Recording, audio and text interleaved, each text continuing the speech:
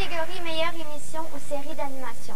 Les finalistes sont Arthur, Bob Moran, Le jour nul de François Pérus, Poil de carotte et Princesse Sissi.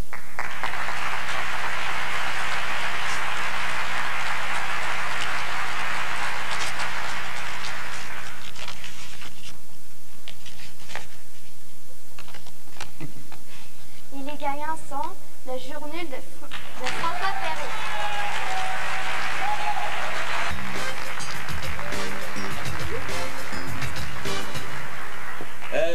Bonsoir, je suis le réalisateur du journal. Et mon nom est Normand Rompré. Dix mois auparavant, l'effervescence médiatique était à son comble, puisqu'une bande d'illuminés, dont je faisais partie, s'était donné le défi de produire et de mettre en ondes chaque jour une minute d'animation couvrant la nouvelle de l'heure.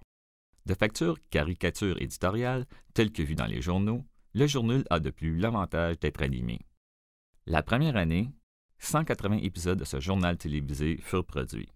L'émission Le Journal de François Pérusse s'est mérité le Gémeaux de la meilleure émission d'animation en 1999. Ce qui suit est un reportage sur le procédé de production du journal.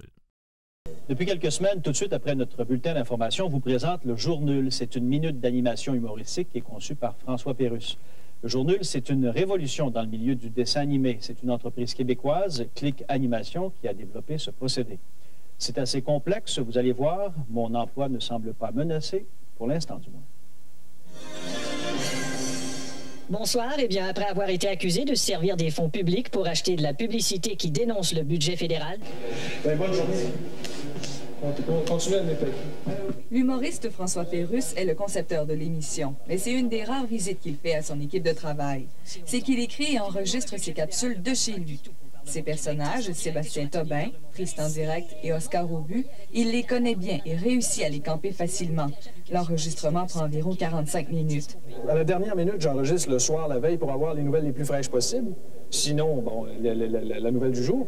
Et j'enregistre ça le soir. Et le, CD, le, document sonore, part de chez moi dans la nuit euh, pour arriver ici euh, le matin.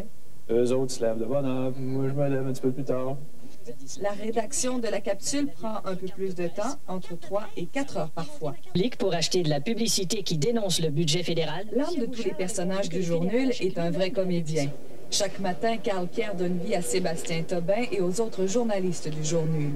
L'animation se fait par la capture de mouvement. Le comédien est relié à un ordinateur par le biais de 15 capteurs. La prise de vue se fait en temps réel et l'ordinateur calcule la définition pour le dessin animé. Chaque personnage a sa personnalité et une posture spécifique. On ne néglige aucun détail pour que les gestes soient le plus précis possible. Merci, monsieur. La capture est bonne. L'équipe d'animation, composée de 15 personnes, hautement spécialisées, se met maintenant au travail.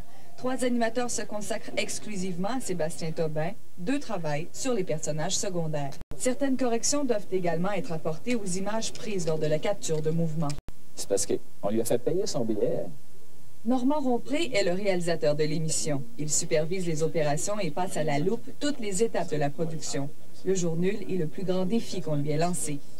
Moi, je peux pas me trouver drôle quand je me regarde parce que je suis trop critique. Je me dis, c'est correct, c'est pas correct? Je peux pas éclater de rire quand je regarde, mais je ris, par exemple, de ce que l'équipe d'animation a ajouté. Euh, les petites mortaises, euh, euh, tout ça, je ris de ce qu'ils ajoutent. Ça, c'est une surprise pour moi. Les infographies qui vont apparaître pendant le jour nul. Et on conçoit les émotions du visage des personnages, tant au niveau des sourcils, des yeux ou de la bouche. Au pire que ça, ils lui ont fait payer son billet. On choisit également l'angle des caméras, Là, on est de la caméra 1. Alors, si on passe à la caméra 2, par exemple, on se retrouve de face. C'est fantastique puisque ça n'a jamais été fait auparavant, qu'on ait 24 heures entre la conception et la livraison d'une minute d'animation. C'est quelque chose qui est pratiquement impossible. Par exemple, un 30 secondes d'animation pour une publicité peut prendre jusqu'à un mois et demi. Juste dans cette pièce, 1,5 km de câbles relient les ordinateurs entre eux. Toutes les modifications apportées par les animateurs sont mises à jour à chaque poste de travail pour que la finition soit parfaite. La capsule est terminée au plus tard à 15 heures. Le résultat est fascinant et la réaction du public est excellente. La seule critique entendue ça et là, une minute. C'est beaucoup trop court. ben voilà, c'est tout, il l'a tout. Karine Champagne, TVA, Montréal.